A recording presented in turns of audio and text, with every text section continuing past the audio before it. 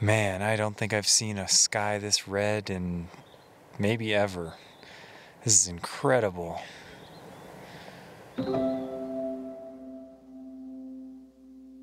This backpacking trip started out as a quick little hike to an area of desolation wilderness that neither of us had seen before. The trip started out as sort of a shakedown hike to test a new sleeping pad, but it turned into what I think is a core memory that will stick with me for a long time. Permits were pretty easy to get this early in the season, but the deep snow load that the Sierras had got that year meant that low spots often had water in them.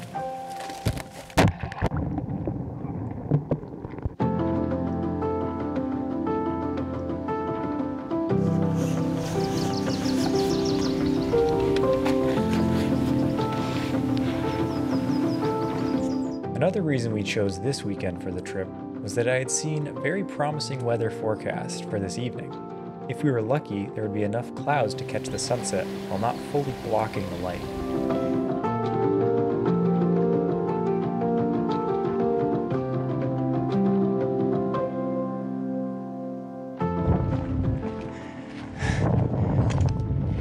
Walking through this uh, this high point, all the trees are very squat.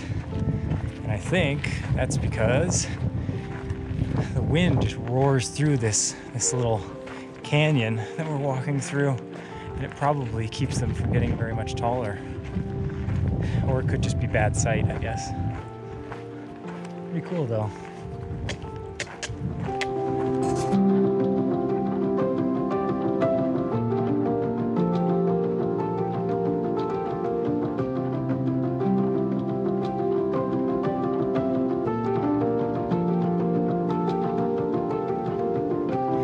Well, we came down the hill and we got to a fork in the road, and one way looked like it kind of went up the hill, and then the other came back down the hill and towards the lake. And we said, Oh, well, let's walk along the lake. That sounds like fun.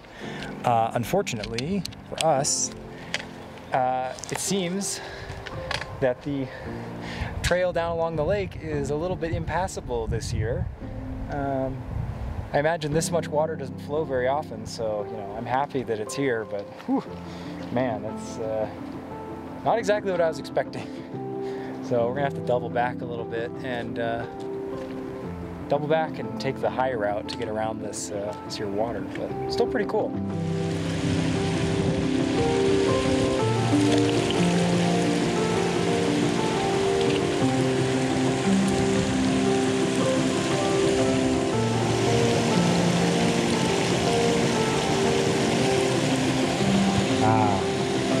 Fresh.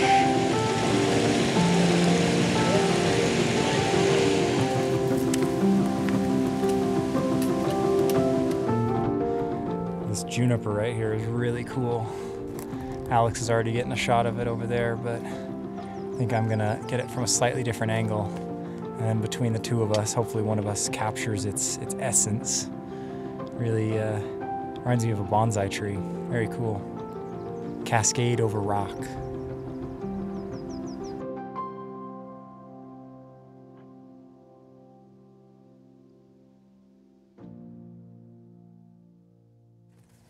Finally, after seven miles or more, we're finally getting into desolation and we'll be ascending up to uh, Rubicon Lake. And it's already very pretty.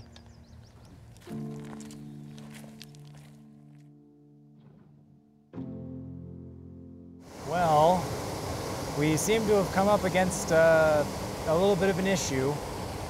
Uh, yeah, I knew that we were going to have to cross this creek, but it's looking a little bit too swift for us. We may have to double back to um, Rockbound Lake and just set up uh, camp there. This might be the end of uh, our advance. I knew it was coming, but uh, still, still uh, a bummer that it had to end like this.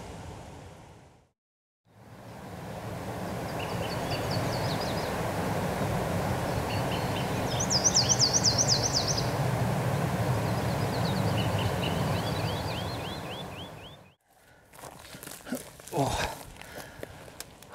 well, we, uh, we made it. We didn't make it to Rubicon, but uh, we decided that fording the river was not in our best interest.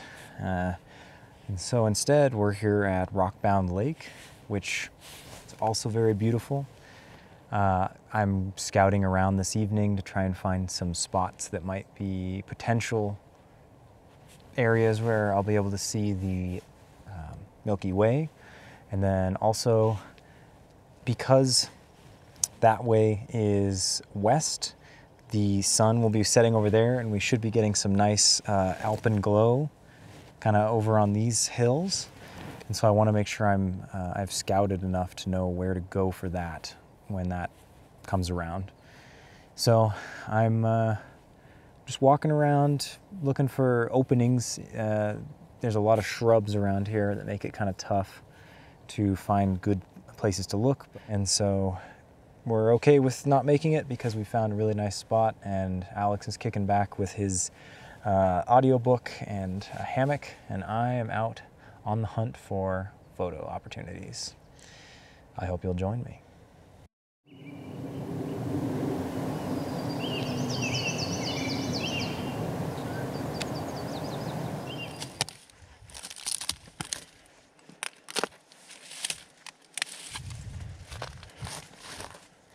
Okay, well, I've spent the better part of an hour, well, maybe half an hour, running around on this hillside looking for a composition. And I know that pretty soon the sun will be setting. And as it sets, I think I'm gonna get some really nice colors on these wild clouds that are back here. And so I'm really hoping that if I'm positioned here, I couldn't get to a place where that peak over there uh, that peak over there wasn't being cut off by a tree. Unfortunately, the further you go, it, just gets worse and worse. So uh, I'm gonna try to maybe get a couple images before it gets to full, um, full sunset. And then hopefully when it hits, it'll really hit and I'll be right where I need to be for it.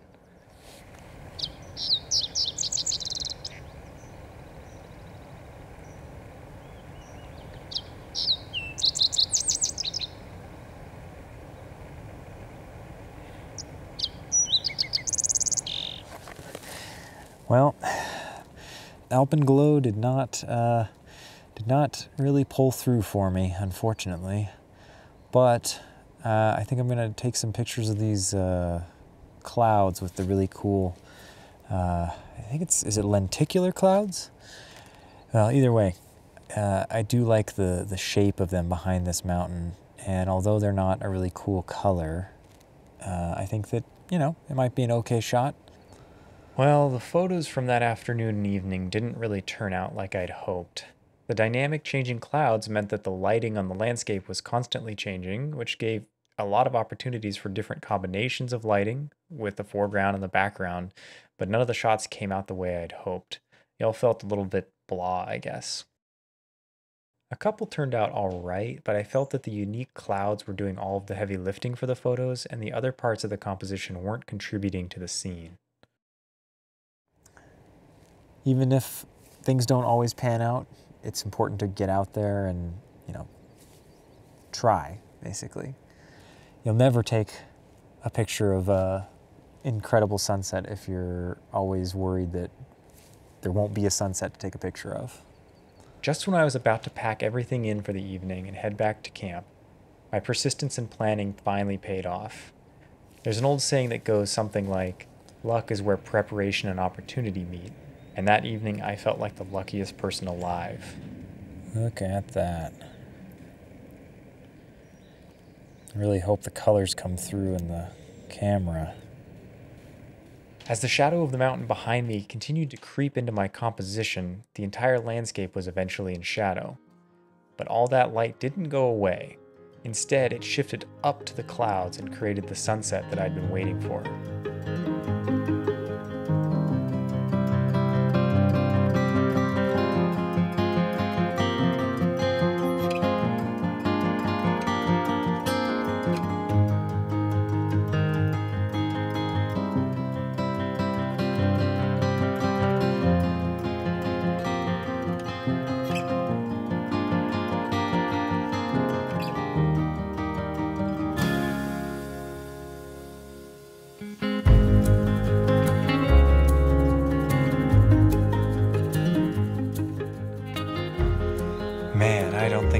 A sky this red in maybe ever.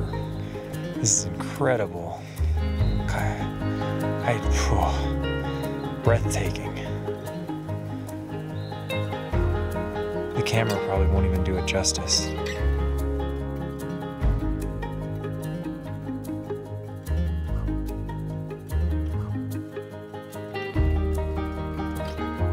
Now that is a job well done.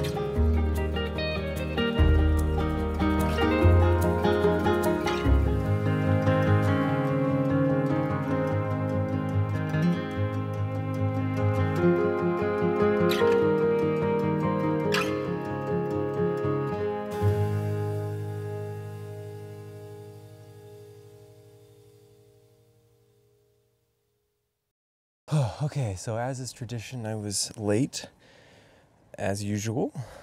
So, finally made it up here. This is the place we were taking star photos last night. And I missed the really pink sky, unfortunately, but I think I'm gonna hit the. Looks like it's becoming very orange.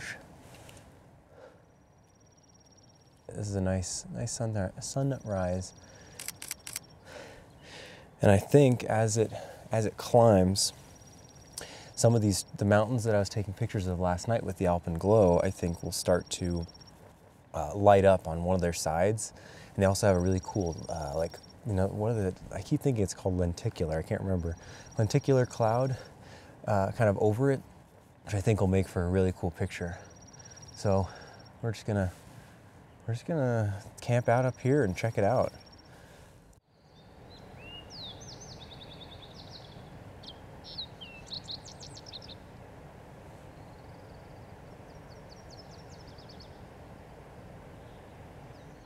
So my idea is if I stake out a position near a cool object, such as this old dead tree, looking towards where the sun is going to come up and start just touching the tops of those mountains, way over there.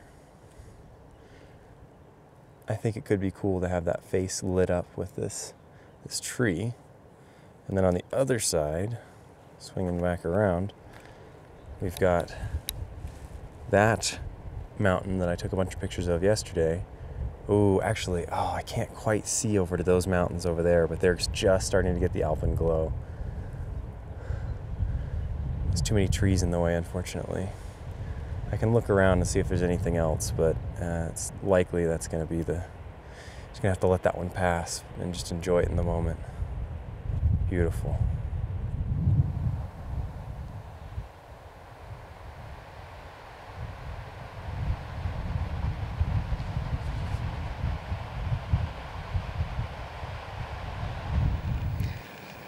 Well, it's starting to light up, but it's not as pink as I would have liked.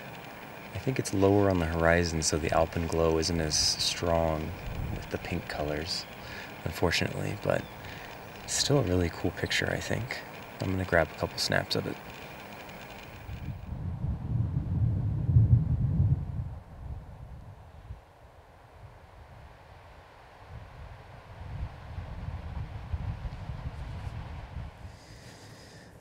Well, the sun has kind of gone behind a cloud that's been forming over the. Uh, it's the one actually that all of the, the sunrise is hitting. and so I think that might be the end of the sunrise pictures. But uh, I'm confident that I got at least a couple of good ones. And then I'm also doing some cool time lapses of different, uh, different kind of unique phenomena happening around here. I'm hoping that I can capture the, uh, the clouds over the top of that mountain as they form and kind of reform and dissipate and things like that. So I think that's the end of morning photo shoot for the time being. I also decided to make a quick run over to the river that had stopped our progress the day before to grab a long exposure picture.